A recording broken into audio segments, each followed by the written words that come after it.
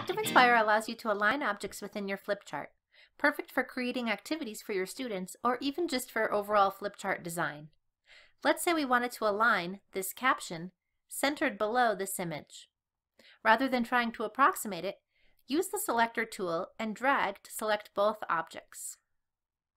Once they've both been selected, choose Object Edit Menu, the third option, on your marquee handle.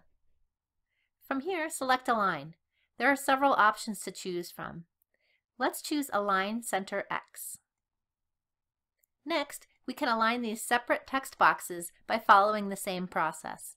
Select all of the objects and choose Object Edit Menu. Go to Align and select Align Left. Note that for each of these actions, the alignment criteria for the whole group are always based on the first object created in the group. Here's another alignment option. Perhaps we've been using playing cards for a math lesson or to randomize some element within the classroom. Again, select the objects you wish to align and go to Object Edit menu. And this time we'll choose Align Complete.